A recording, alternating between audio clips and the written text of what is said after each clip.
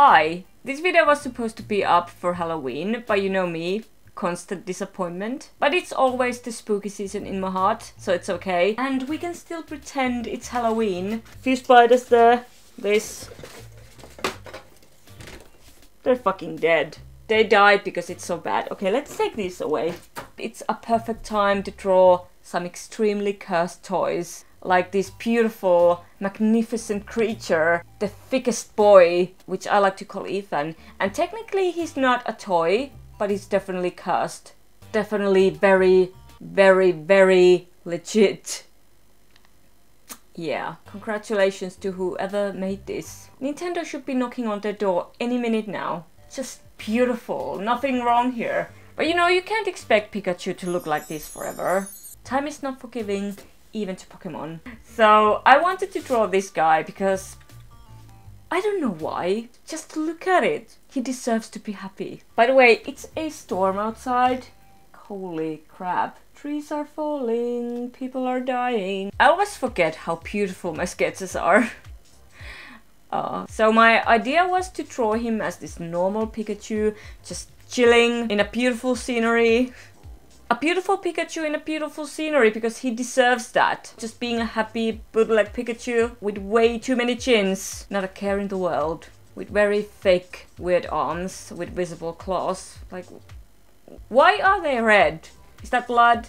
Why does he have a human nose? Why am I even asking? Nothing makes sense. By the way, not trying to be a tutorial channel, because that's not what I am, but for everyone who wants to know, my brush size for line art is usually 5 or 9. I like really thin lines, so usually I use the size 5. And because someone will ask anyway, I use Photoshop. When you're just too lazy to draw the rest, that's me. I am lazy.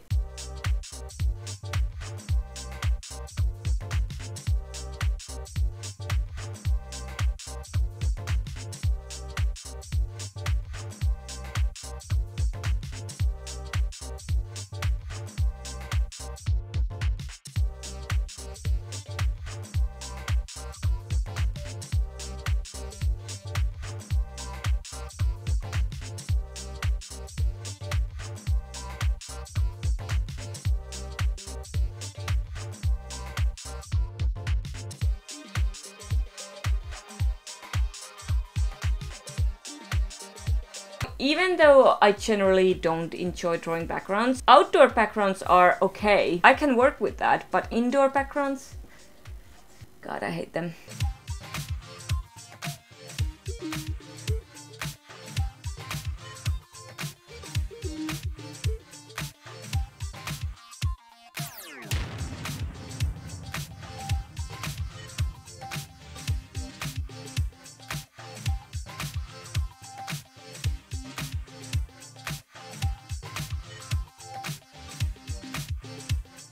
Add some glow, add some blur, some noise, which is the grainy effect. Voila, it's done.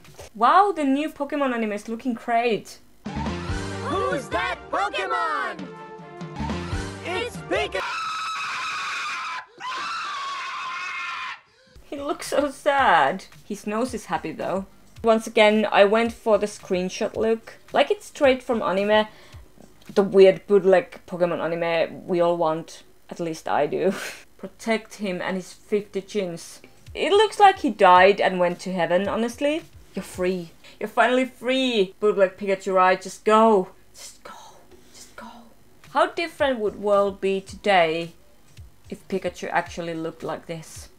Honestly, I think he would be even more popular. So I don't know the story behind this Winnie the Pooh. I've seen this hundreds of times with different captions but I'm guessing he's sitting in a dentist's office, encouraging children to wash their teeth in a very subtle, adorable way. Because apparently that's a thing. There are a lot of these weird educational dentist toys. Please. Please. Thanks. I fucking hate it. But one thing is certain. I have a thing for drawing teeth, so Winnie, my body's ready, or was ready, because I already drew these. I had absolutely no plans for this. I just started drawing. Yeah, I usually don't have any idea what I'm doing. I just do. and hope for the best. But I knew it was going to be horror themed. Really? Do I need to say more? So I just imagined him sitting in dark, eating honey, or honey. Yeah. That's definitely honey. And the line art. The brush I used for this was also 5 by the way.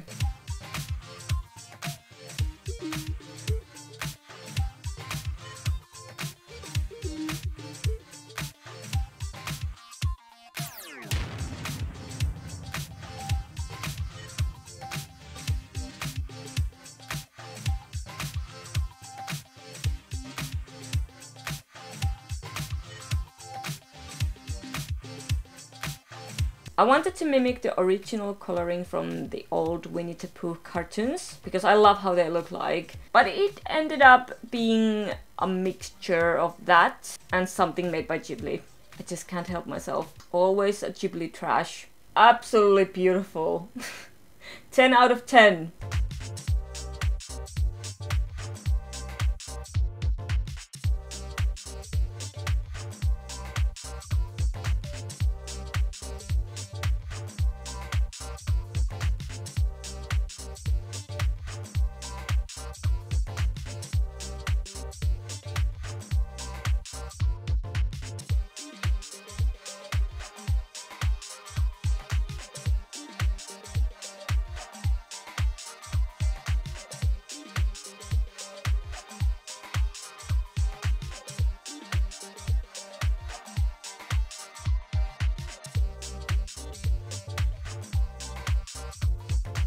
Some honey, aka Piglet, Tigger, that's Eeyore, Rabbit, the whole happy family. I could have went crazy with the blood, Because I love blood. but I kept it together.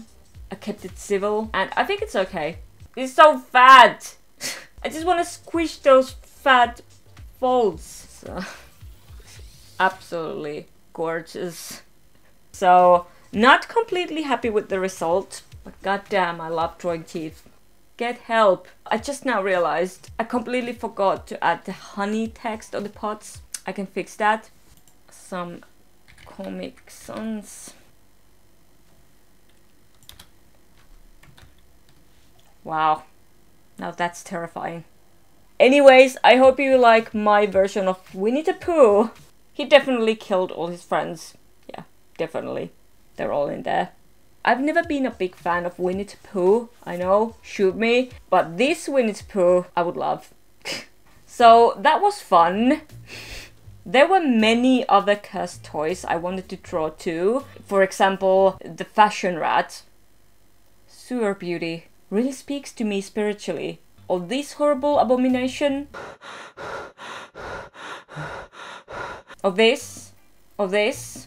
But maybe next time. What cursed toys or items should I draw next?